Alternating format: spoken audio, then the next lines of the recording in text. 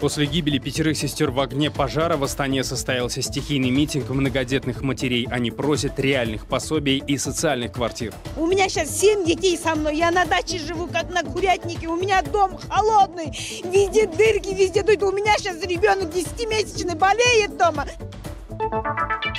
Рынок наркотиков развивается быстрее, чем органы могут на это реагировать. Как уберечь молодежь Центральной Азии от новейших одурманивающих средств? Наркодельцы меняют один компонент психотропное вещество уже не относится к списку запрещенных.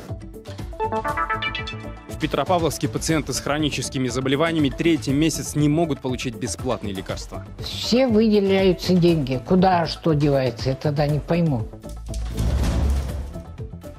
В прямом эфире информационная программа «Настоящее время. Азия» в бишкекской студии. Я Шавкат Тургаев. Здравствуйте. Более сотни многодетных матерей собрались в центре Астаны и обратились к президенту и властям. Женщины потребовали улучшить жилищно-бытовые условия многодетных семей в Казахстане. Стихийная акция прошла на следующий день после похорон пяти погибших дочерей одной семьи. Девочки сгорели заживо во времянке, где и жила семья. По словам собравшихся, митинг спонтанно организовался в соцсетях. Женщины боятся, что подобная трагическая участь может постичь кого-то из них. Светлана Глушкова побывала на митинге.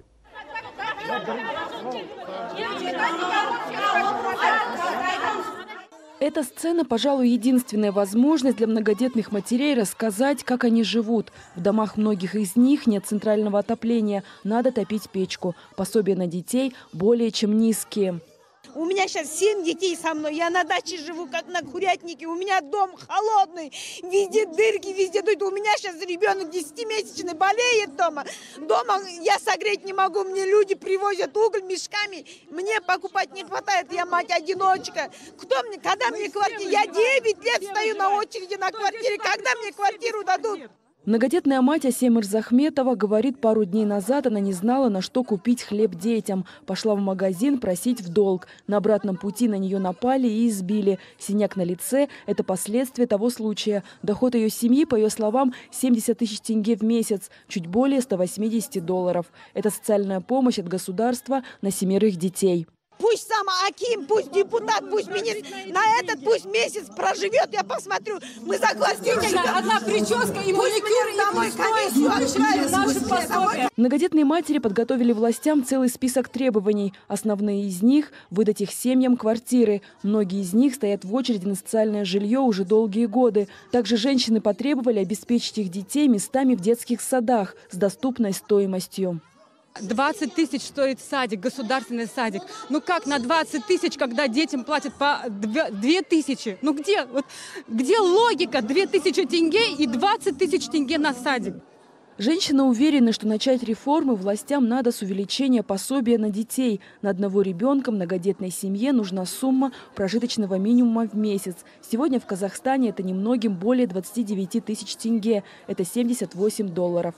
Сейчас на одного ребенка многодетная мать получает в месяц чуть более 2000 тенге. Это 6 долларов. Я оформляю адресную справку, какую-то помощь собирают доход моей семьи. Они считают пособие по инвалидности. Пособие по инвалидности не должно считаться доходом семьи. И должны повысить пособие по многодетной семье. Матерей выслушали чиновники местной администрации и Министерства труда и соцзащиты населения. Обещали подумать, как улучшить систему поддержки многодетных семей. Вопрос идет тогда о пособии, о размерах пособий по многодетным матерям тем, кто имеет много детей. Вот конкретно в данном случае. Вопрос касается адреса социальной помощи. В части совершенствования тех механизмов, которые сейчас были озвучены, что брать в доход. Вот эти вопросы мы в ближайшие дни доведем. Многодетные матери настроены решительно. Дали властям три дня. Дальше, по их словам, они подумают, как поступить. Представители муниципалитета, в свою очередь, заявили, что раньше 15 февраля ничего сделать точно не смогут. Светлана Глушкова, Ганизат Успанов. Настоящее время Азия. Казахстан. Астана. В Актау оправдали мать четверых детей. Айгуля Бердиева обвиняли в призывах к насильственному захвату власти. Ранее на прениях гособвинитель просил для нее пять лет ограничения свободы, но суд посчитал доказательную базу несостоятельной. По версии следствия, Бердиева ознакомилась с программой запрещенного в Казахстане движения «Демократический выбор Казахстана» и стала принимать участие в дискуссиях на всех онлайн-площадках движения. Уголовное дело на женщину завели после публикации нескольких сообщений в телеграм-чате «Активист ДВК», в которых правоохранительные органы узрели призывы к свержению действующей власти. судом было принято, также вынесено постановление в адрес прокуратуры и следствия за нарушения, которые были допущены данным органом при проведении досудебного расследования. В действительности, я считаю, что в данном деле суд разобрался, потому что доказательственная база а, по обвинению, оно не выдерживает никакой критики. В действительности полностью ни одним документом, ни одним а, документом а, из материалов дела вина Айгуль не доказана. И суд, э, полагаясь на закон, полагаясь на свою совесть, принял единственно правильное решение. Сама Айгуль Акбердиева не ожидала оправдательного приговора, хотя и допускала, что ее могут приговорить к условному наказанию. Она так же, как и ее супруг, не считает себя виновной. Теперь Айгуль намерена бороться за свободу своего супруга, Аблуваса Джумаева, которого в сентябре прошлого года приговорили к трем годам реального срока по аналогичному обвинению. Если честно, я сегодня не ожидала такого э, справедливого решения. Э, в этом уголовном деле действительно нет состава преступления. Э, мой адвокат Жанара Сундиткалиева доказала это. А, ну, естественно, я буду дальше бороться за, теперь за своего мужа, потому что мой муж, мой супруг ни в чем не виновен. Отступление по всем фронтам. Международная организация Freedom House опубликовала ежегодный доклад «Свобода в мире-2019». Исследователь, исследователь отмечает, что вот уже 13-й год подряд большинство стран мира отступают от демократических принципов. Акрам Абдукахор изучил отчет. Оценка каждой страны строится на данных о реальных правах и свободах ее граждан. Каждое отдельное государство оценивается по критериям, которые заложены во Всеобщей декларации прав человека. Исследователи Freedom House отмечают, что с 2006 года в 116 странах наблюдается ухудшение ситуации со свободой и только в 63 просматривается положительная динамика. В снижении уровня демократии во всем мире эксперты видят связь ситуации ситуации вокруг различных свобод в США. В этом году США попали под жесткую критику авторов доклада. За последние 10 лет главный защитник демократических свобод все дальше отходит от принципов свободного мира, утверждают эксперты. С 2009 года страна ухудшила свою позицию на 8 пунктов и получила 86 баллов из возможных 100. По мнению исследователей, ухудшение ситуации с демократией в США непосредственно влияет на весь остальной мир. В то же время в качестве основных противников свободы и демократии в мире правозащитники назвали Россию и Китай. По их мнению, автократические режимы в Москве и Пекине считают необходимым для сохранения власти подавлять в своих странах открытые дебаты и преследовать диссидентов. В этом году доклад Freedom House охватил 195 стран. В докладе они делятся на три группы – свободные, частично свободные и несвободные. Из этого числа только 86 стран названы свободными. Центральноазиатском регионе наилучшую оценку снова получил Кыргызстан. Республика оказалась в группе частично свободных стран. Кыргызстану дали 38 баллов из возможных 100. За год страна улучшила свою позицию в рейтинге на один пункт. Следом идет Казахстан с 22 баллами. Этот показатель причислил страну к группе несвободных стран. За год оценка экспертов в отношении Казахстана никак не изменилась. А вот ситуация в трех остальных странах региона хуже некуда. Они попали в десятку наихудших в группе несвободных стран, где помимо Таджикистана, Туркменистана и Узбекистана находятся Сирия, Южный Судан, Эритрея, Северная Корея, Центральноафриканская Республика и Ливия. Таджикистан с Туркменистаном за год потеряли по два пункта. У первого 9 баллов из 100 возможных, а у второго всего 2 балла. Прошлом году у этих республик было по 11 и 4 балла соответственно. Авторы доклада называют Таджикистан семейной клептократией, а Туркменистан нефтяной клептократией. Узбекистан по сравнению с прошлым годом улучшил свою позицию на 2 пункта и получил 9 баллов. Freedom House отмечает шаги президента Мирзиёева освобождение политических заключенных и снятие ряда ограничений для гражданского сообщества. Тем не менее, страна, по мнению исследователей, остается закрытым полицейским государством. Более развернутые данные по трем самым репрессивным странам Центральной Азии Freedom House обещают опубликовать в ближайшее время. Дыры в бюджете. В прошлом году государственная казна Кыргызстана недополучила более 6 миллиардов сомов. Это порядка 86 миллионов долларов. Такие цифры озвучены на заседании парламентского комитета по бюджету и финансам. В 2018 году доходную часть республиканского бюджета прогнозировали в размере 141,5 миллиардов сомов. Однако по итогам года он составил 135,4 миллиарда. То есть бюджетный план выполнен на 95%. В правительстве объясняет это недопоступлением налогов, таможенных платежей и слабой реализации инвестиционных проектов. Депутаты потребовали выявить ответственных. Как рассказывали, рассказали в налоговой службе, причиной недопоступления в бюджет стало сокращение налоговых платежей от 9 крупных компаний. Не досчитались денег и от НДС. Правительство приняло решение провести аудит исполнения бюджета. Результаты проверки представят парламенту до сентября.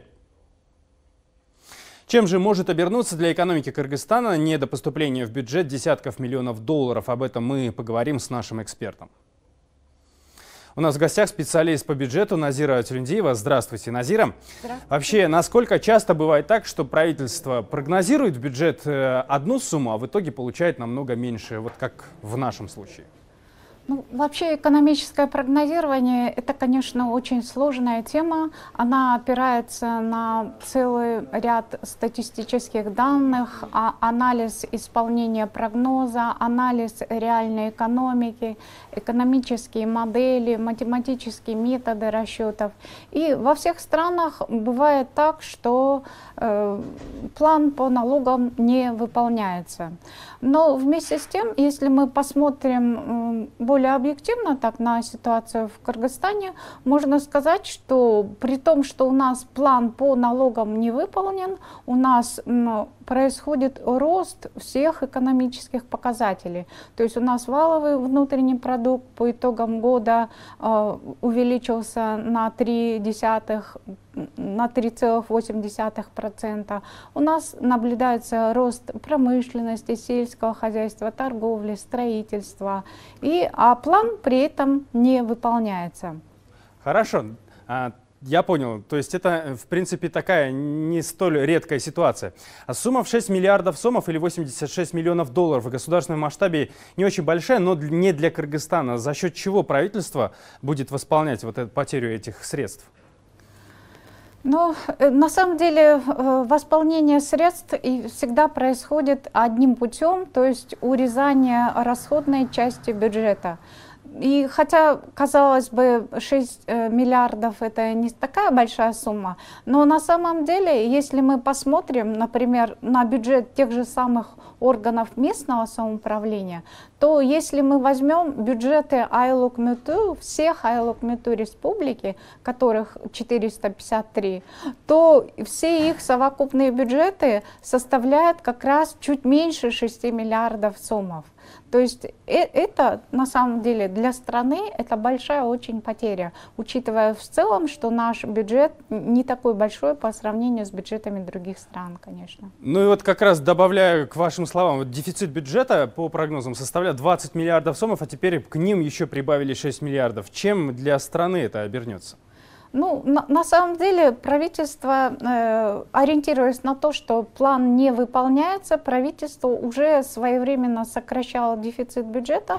И сегодня по предварительным данным дефицит составит 9-10 миллиардов э, сомов, что, конечно же, для нашей страны это тоже огромная цифра, поскольку и, если мы посмотрим, э, если бы эти деньги направили на медицину, на образование, сколько реальных благ могли бы получить граждане, которые сейчас их не дополучают.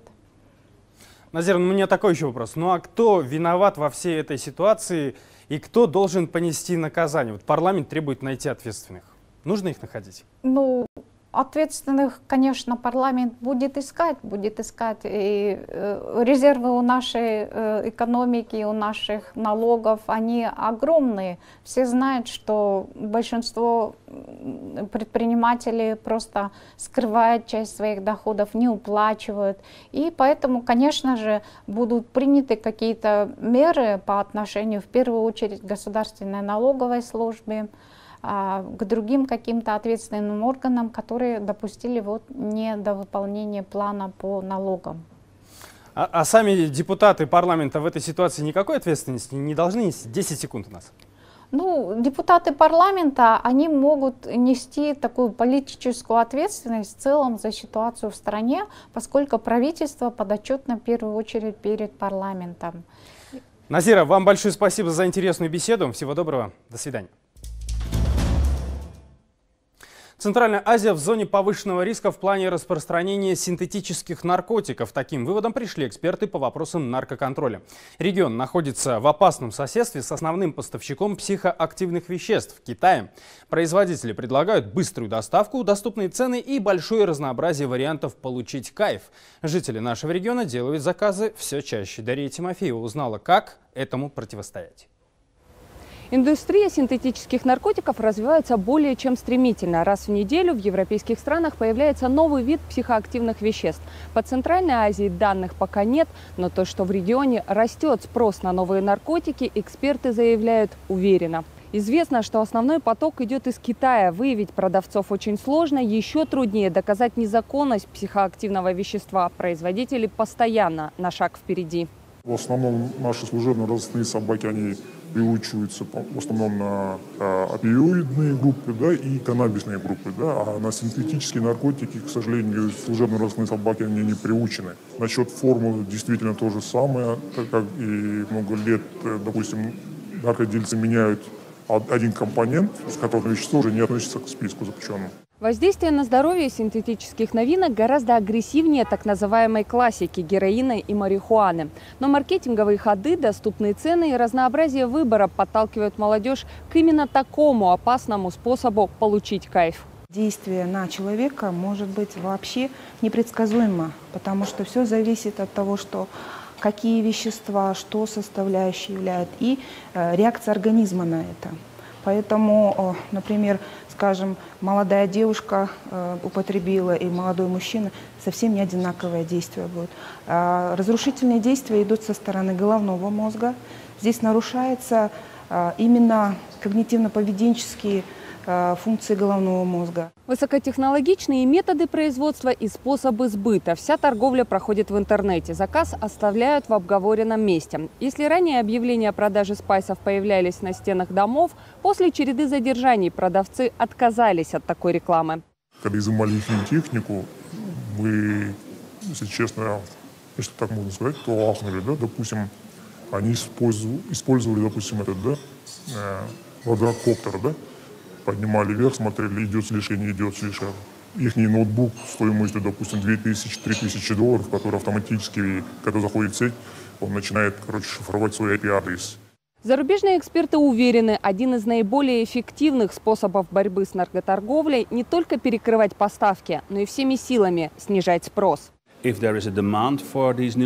Если есть спрос на такие виды наркотиков, если молодые люди ищут их, то они получат их в любой точке мира. Наша цель сфокусироваться не только на снижении производства, но и уменьшить потребность в этих наркотиках. Прежде всего необходимо внедрять превентивные меры, информировать людей о рисках принятия наркотиков. Распространению наркотиков в Центральной Азии противостоят не только силовые структуры. Бороться пытаются в прямом смысле всем миром. Несколько лет в регионе действует программа Европейского Союза. Подключает гражданское сообщество, исследователей, медиков, местных и зарубежных экспертов. Смотрите далее в нашей программе. Петропавловске пациенты с хроническими заболеваниями третий месяц не могут получить бесплатные лекарства. Все выделяются деньги. Куда что девается, я тогда не пойму. Любой ценой президент Таджикистана дал две недели на спасение двух крупных банков страны – Агроинвестбанка и Тоджик Садирот банка. Поручение Мамали Рахмона должно быть выполнено до 20 февраля. Глава Нацбанка Таджикистана Джамшет Нур Зада рассказал на пресс-конференции, что глава страны дал указание Кабмину внести конкретные предложения по оздоровлению банков. Глава финансового регулятора отметил, что два проблемных банка выплатили часть задолженности перед вкладчиками, но проблемы еще остаются. Банки не выполнили свои обязательства перед клиентами. При этом он добавил, что главная проблема не своевременная продажа имущества двух банков. Нур Мухаммадзада также опроверг информацию об исчезновении председателя Агроинвестбанка Мурадали Алимардона. Цитата. Он в Таджикистане продолжает свою деятельность. Я отмечу, Агроинвестбанк задолжал своим вкладчикам более 78 миллионов долларов, а Тоджик Садирот банк более 53 миллионов долларов. В Петропавловске пациенты с хроническими заболеваниями жалуются на то, что третий месяц не могут получить бесплатные лекарства, которые положены по закону. Медикаменты приходится покупать за свой счет, рассказывает Айнур Алимова. По диабету что-то есть? Пока диабет еще не поставляли. Не поставляли? А когда это будет? Я не знаю. Все вопросы зам главного врача, пожалуйста, или к ней идите, или звоните. Угу. У 77-летнего Василия Костина сахарный диабет. Третий месяц он не может получить положенные по закону бесплатные лекарства. Покупает препараты за свой счет. Вынужден экономить. С ноября месяца, с ноября и по сегодняшний день практически эти медикаменты не попали. Ну, неважно какие. Ну, у меня по сахарному диабету. Поэтому приходится, как пенсионерам, идти в аптеки, а в аптеках все можно взять, только деньги. Но там очень повыш... завышенные цены. Вот. И буквально вот я взял буквально флакончик по три с половиной тысячи. Но его хватило на полмесяца, если полную дозу. Полдозы это на, на месяц можно протянуть. Но это уже сказывается все равно на здоровье. Вот. И вот сколько мы обращаемся, поликлинику по вопросу поступления, пока медикаменты не поступили. И когда неизвестно, вот э, будем говорить, отвечает нам. Девушка, э, я звоню по поводу лекарств по диабету. Как можно выписать? Дают нет лекарства? Зое Откеновой тоже положены бесплатные лекарства. Пенсионерка говорит, что препарат, который ей выписали, стоит 12 тысяч тенге. Скромная пенсия не позволяет покупать лекарства по такой цене. Джет, вот я пью, он стоит где-то 11, наверное, 800 где-то. Инвакана пила, а потом мне назначили, инвакана я точно знаю, 11 800. Сегодня я говорю заведующей, а как быть-то? Ну, купите за наличку. Ну, пенсия-то у нас не шибко большая, что вот так, хотя и добавляет, добавляет, а Почему не иметь лекарства? Вот выделяет. Услышишь, президент выступал наш, говорил, что лекарства все у нас, все, и Аким области как-то говорил, что все выделяются деньги. Куда что девается, я тогда не пойму. Местные власти утверждают, что не в курсе проблем с обеспечением бесплатными медикаментами. По словам представителя Акимата, все препараты есть в наличии в областной больнице. Но именно, что три месяца не получали, такого у нас информации у нас нет. Официально жалуются, что инсулина не хватает, там мы находим, то не хватает, кто обращается, э, эти вопросы мы решаем. А то, что сидеть дома, у меня три месяца не получает, я таких людей. В Северо-Казахстанской области около 78 тысяч пациентов, которые должны получать бесплатные лекарства. В том числе около 70 тысяч больные сахарным диабетом. По информации местных властей, в прошлом году на обеспечение бесплатными лекарствами выделили из бюджета 5,5 миллиардов тенге. В этом году на 100 миллионов меньше. В Казахстане нередко говорят о нехватке инсулина. В прошлом году Министерство здравоохранения предложило исключить сахарный диабет из списка социально значимых заболеваний. Это были все новости, о которых мы хотели вам рассказать. Смотрите нас в социальных сетях, в эфире своих национальных телеканалов и в прямом эфире круглосуточного телеканала «Настоящее время» в Ютубе. Всего доброго, до встречи.